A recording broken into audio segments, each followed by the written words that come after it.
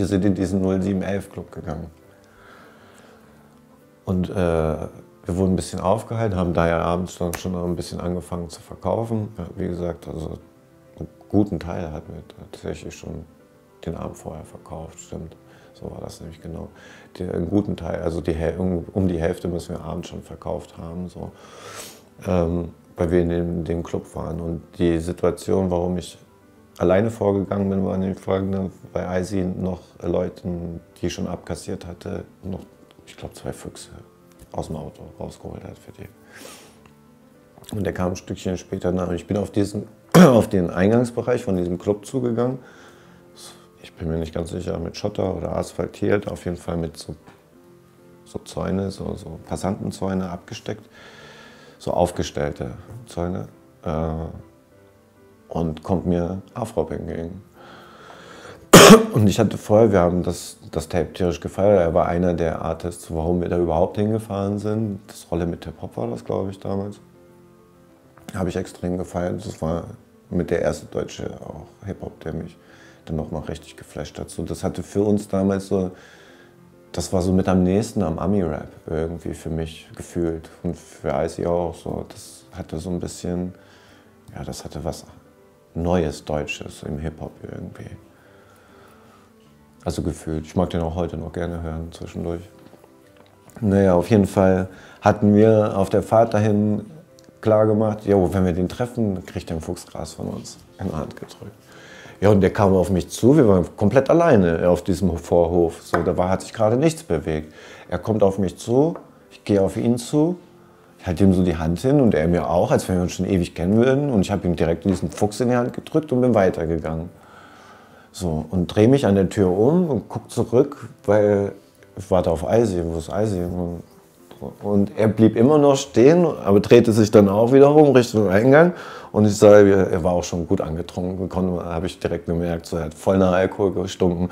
Und steht so da, guckt sich in seine Hand, also guckt sich den Fuffi an und guckt, guckt so zu mir zurück und freut sich voll und lacht. Ne? Dreht sich um, steckt so ein und geht weg. Ne?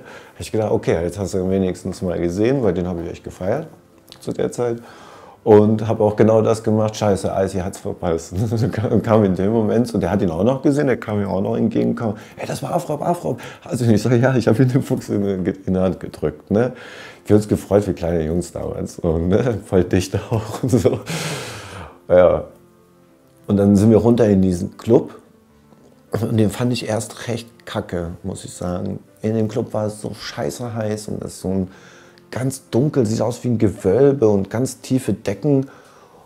Und nach zwei Stunden hat er original, nachdem da hat der Schweiß von der Decke getropft, ganz sicher. Keine Ahnung, das Gebäude wird es nicht selbst gewesen sein. Alle voll durchgeschmiert, wie gesagt, es ist Hochsommer draußen. Stuttgart hat auch noch richtig schöne Sommer. Also das war, waren richtig heiße Tage dort. Äh, auf jeden Fall irgendwann, so, weiß nicht, so für 200, 300 Mark ein bisschen was verkauft. 400 Mark ein bisschen was verkauft, bin ich mit Icy erstmal raus. Und draußen auch geraucht. Wir haben da drin nicht geraucht, wollte ich nicht. Wir haben draußen geraucht, weil wir verkauft haben. Habe ich gesagt, wir rauchen nicht hier, wir gehen raus, irgendwo auf dem Parkplatz oder sonst wohin, lauf weg vom Auto. Und Autoschlüssel bleibt auf dem Rad liegen. Wir sehen das Auto, da geht keiner bei. Wenn nicht, sind wir schnell genug. So, ich sehe, also wir haben keinen Autoschlüssel dabei. So. Auf dem Festivalgelände dann natürlich, natürlich, ja, den kannst du ja nicht draußen irgendwo liegen lassen oder irgendwo hinlegen, aber so abends beim Rauchen war das so. Sind rausgegangen, ein paar Mal zwischendurch, dann auf dem Parkplatz noch ein bisschen was gemacht, verkauft. Wieder reingegangen und irgendwann denke ich so, ich habe mir den Tresen angeguckt und irgendwann habe ich gedacht, Mann, der Tresen verschwindet doch da in der Mauer, irgendwie in der Wand einfach. Und direkt vor dem, alles schwarz in dem Club, war so eine, so eine Schwingtür, so eine, aber ganz geschlossen, so eine, also ich bin der Meinung, es war eine Schwingtür. Und irgendwann habe ich gesehen, dass direkt vor dem Tresen einer nach nebenan in den anderen Raum geht, wo der Tresen dann weitergeht. Das war dann VIP-Bereich. Stumpf einfach reingegangen, habe ich darauf endlich ein Sofa. Ja, draußen, da, wo die wo die Gäste sind, die Clubgäste sind, die einfach da Tanzfläche feiern, Tresen, ganz normaler Club halt irgendwie. Das war alles total ungemütlich. Also das, war, das hat einen mehr aufgefordert, stehen zu bleiben, alles und so. Und ich meine, wir haben voll die lange Fahrt hinter uns, ich bin voll müde, voll dicht und so. Habe auch ein bisschen was getrunken jetzt schon. Ja, mir zwei, drei Bier gelangt auf dem Abend. Ne? Da war ich, war ich schon gut angeschickt, also von dem Alkohol auch noch. Hab zwischendurch noch mein Blech gehauen, mein Blech gezogen, so, ne? Konnte ich ja nicht sein lassen, hätte ich eigentlich, wollte ich das bis zum nächsten Tag aufheben, habe ich dann auch nicht hingekriegt, so. Abends dann noch geraucht, das weiß ich auch noch. Ja, aber ich Bock drauf hatte auch, ne? So. Und dann habe ich mich in meiner Latzhose da unten hingesetzt, so auf das Sofa. Irgendwann saß dieser Flow und Immo neben mir, der war aber voll abgedichtet, ging mir tierisch auf die Nerven, der Typ. quatschte mich zwischendurch irgendwie voll und dann den Typen auf der anderen Seite, auf dem anderen Sofa, voll hibbelig. Und da habe ich mir gedacht, Alter, geh mal weg, Junge. Harris ist die ganze Zeit rumgeturnt, der hat, ich voll lustig, so eine, so eine, so eine rosa Handytasche, so eine plüschige, äh, mit seinen Bags immer drin, weißt du, und dann jede Olle hing so halb auf dem, auf dem Krökeltisch, so, so Tischfußball, ne, und immer wenn der Alte vorbeigekommen ist, klatsch, so voll der eklige lange Typ, Junge, aber richtig lustig, so. Jede Olle, die an ihm vorbeigekommen ist, erstmal klatsch, einen auf den Hat sich voll feiern lassen, da der Vogel aber köstlich, tierisch so abgefüllt. Ne? Die haben nächsten Tag einen Auftritt, die Jungs. Ne? Voll egal. Fand ich gut. Irgendwie. Ja, und dann saß ich da bestimmt schon zwei, drei Stunden und irgendwann saß Afra neben mir. Und so, sag mal, ey, du bist doch der Typ mit dem Gras. ich sag, ja, der bin ich. So, gibt es da noch was von? So, dann haben wir bestimmt noch zwei oder drei Fuffi-Tütchen, haben wir angefangen so und dann irgendwann, ey, mal Whisky-Cola bestellt, der war voll wie ein Eimer, ging gar nicht mehr. Also wird mich nicht wirklich wundern, wenn von der Nacht nichts mehr da ist. Also ab 4 Uhr morgens ist bestimmt nichts mehr da gewesen. Nächsten Mittag um 1 Uhr stand er in den gleichen Klamotten auf der Bühne. Voll durchgefeiert, Junge. Aber hat, das habe ich noch, ihn habe ich noch gesehen. Und kurz danach war die Verhaftung dann irgendwann.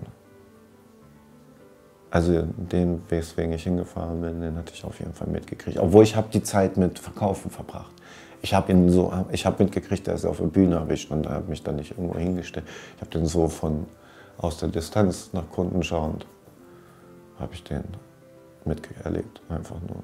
Keine Ahnung, da waren zwei, drei Bands irgendwie oder Rapper vor ihm. Ich weiß gar nicht mehr, wer da alles war. Da war eine Unmenge, ich glaube, da waren 20 Artists oder so den Tag. Ich glaube auch noch ein Ami-Act dabei und sowas alles. Also es war schon ein cooles Festival im Grunde. Was halt gar nicht ging, war dieser asoziale, auf Kommerz ausgerichtet, diese voller, wir verdienen uns dumm und dämlich an euch. Dieses Ding, dass du nichts mitbringen durftest auf das Gelände. Die haben auch dein Essen weggeschmissen am Eingang. Du musst dich dort verpflegen, musst du. Hast du Hunger über den? Du kriegst irgendwann Hunger. Du musst da ein Bratwürstchen für 4,50 Mark kaufen. Was schon teuer ist für eine Mark 80. Weißt du? So. Ah, voll, also das stößt mir bis heute dann, wenn ich daran zurückdenke, auf. Das fand ich voll asozial. Ja, und unglaublich, wie viel Polizei. So, sowas hast du so, sowas habe ich noch nie bei einem Festival gesehen, so, so ein Polizeiaufmarsch. Ich meine nicht, dass ich der Festivalgänger wäre und viele mitgemacht hätte. Aber so ein paar habe ich mir wohl schon angeguckt. Das habe ich noch nie, nie wieder danach gesehen, sowas. Wie gesagt, das ist so ein Tagesding. Das geht dann bis spät abends, 10, 11 Uhr und dann ist Schicht im Schacht. Ne? So, da ist nichts mit Übernachtung oder Zeltplatz oder so ein Kram. Das ist ein Betongelände. Ein Tag.